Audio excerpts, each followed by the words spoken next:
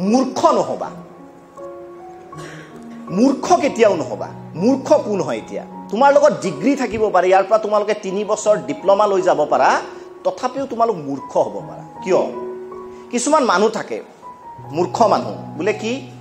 মই গোটেই দেশত যিমান দেশ আছে সকলোৰে ৰাষ্ট্ৰপ্ৰধানৰ নাম জানো। ৰাষ্ট্ৰপ্ৰধানৰ নাম জানো। সকলো দেশৰ ৰাজধানীৰ নাম জানো। অসমত যিমানকেইখন জিলা আছে সকলোৰে নাম জানো। আমি কি ভাবোঁ? বিৰাট জনা বিৰাট জনা ল'ৰা ভাবোঁ নাই? ভাবোনে নাই?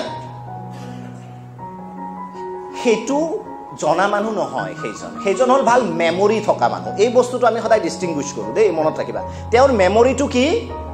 ভাল। তেওঁ থিয়ৰী জানে। একদম ক্লাছত পূৰা বুজাই গৈছে একদম সাংঘাতিক। তাৰমানে তেওঁৰ মেমৰিটো ভাল। ভাল হোৱাটো বেয়া কথা নহয় আমি এপ্ৰিচিয়েট কৰিব লাগে যে আপোনাৰ মেমৰি ভাল বহুত ভাল। That should not be the ultimate destination for a student মোৰ কথাটো বুজি পাইছানে? মই চব ৰাজধানীৰ নাম জানিলোৱে মই সলাব পাৰিম নেকি? মই সকলো ৰাষ্ট্ৰপ্ৰধানৰ নাম জানিলোৱে মই কাৰোবাৰ ৰাষ্ট্ৰপ্ৰধান সলাব পাৰিম নেকি? তে মোৰ মেমৰিটোৱে কি কামত দিলে? কিবা কামত দিলে জানো? এই সৰু সৰু বাচ্ছাবিলাকে আজিকালি কয় যে মই একদম এ টু জেড চব জানো দুই বছৰ বয়সতে আমিও নিউজত দিওঁ। ঠিক আছে মই আকৌ কৈছোঁ যে মেমৰিটো ভাল কথা। মেমৰি হোৱাটো মেমৰি শ্বাৰ্প হোৱাটো ভাল কথা কিন্তু সেইটো তোমাৰ উইজডম নহয়। আমাৰ সমাজত আজিকালি মেমৰি থকা মানুহ বহুত আছে।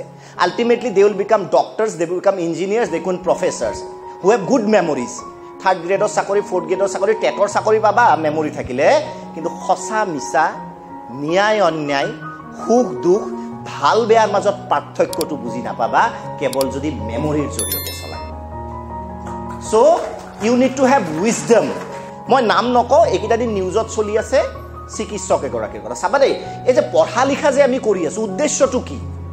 মই ক'লোঁ নহয় মই এম এ পাছ কৰিলোঁ মই যিখিনি পঢ়ি আহিছিলোঁ মই ষ্টুডেণ্টক সেইটো পঢ়ালোঁ সিহঁতে আৰু কাৰোবাক পঢ়োৱালে সেই ছিষ্টেম সমাজৰ কিবা লাভ হৈছে জানো?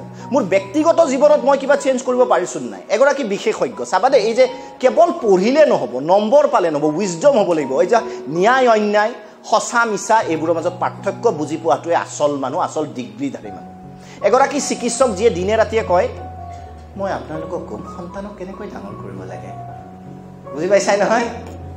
মই আপোনালোকক ক'ম সন্তান আৰু পিতৃ মাতৃৰ মাজত কেনে সুসম্পৰ্ক হ'ব লাগে?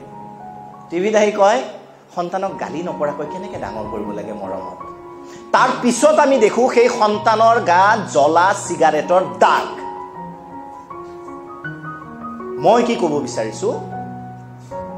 Someone may have a good memory তেওঁ যেতিয়া মেডিকেল পঢ়িছিল তেওঁৰ মেমৰিটো ভাল আছিল ভাল নম্বৰ পাইছিল এম ডি কৰিলে ডক্টৰ হ'ল। পাছত তেওঁ সেইখিনি প্ৰেছক্ৰিপশ্যনত ডক্টৰক লিখিও দিছে।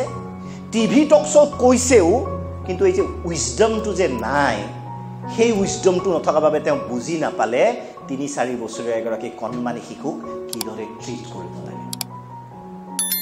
Getting my point so' always মই বিচাৰোঁ। মই এনে এখন সমাজ বিচাৰোঁ মই এনে নৱপ্ৰজন্ম বিচাৰোঁ যাৰ উইজডম থাকে। মেমৰি অকণমান কম থাকিলেও প্ৰব্লেম নাই। কিন্তু আমি আটাইতকৈ আমাৰ বেছি গুৰুত্ব দিয়া বস্তুটো হ'ল কি জানানে? কি? মেমৰিত আমি বেছি গুৰুত্ব দিওঁ। পূৰা মুখস্থ কৰা ঠাইত ধুৱে লিখি দিয়া নম্বৰ পোৱা হৈ গ'ল জীৱন। কিন্তু সেই মানুহজনে কেতিয়াবা সমাজত যায় ভয়ানক কাৰ্য কৰিব পাৰে। তেনে মানুহৰ সমাজত প্ৰয়োজন আছেনে? তাতকৈ মোৰ ককা আইতাই ভাল যিয়ে অ আ ক খ লিখিব নাজানে কিন্তু সৰু এজন ল'ৰা দেখাৰ লগে লগে হয়তো এটা চকলেট কিনিব আবদাৰতে এটা চুমা খাই দিব নিজৰ সন্তান নহ'লেও। My grandmother is far better I have never seen my grandmother to scold any boy মোক যেতিয়া অন্ততঃ মায়ে কেতিয়াবা গালি পাৰিছিল আইতাক ইয়াক কিয় গালি পাৰ? তাক গালি পাৰি পাৰি শেষ কৰিলি ল'ৰাটো। ইমান ধুনীয়া ল'ৰা ইমান ভাল ল'ৰা। গতিকে সেইকাৰণে মই কৈছোঁ মোৰ আইতাই কোনো ক'তো যাই কিনে বিদেশত চাৰ্টিফাইড পঢ়ি অহা নাছিল যে সন্তান কেনেকৈ ডাঙৰ কৰিব লাগে।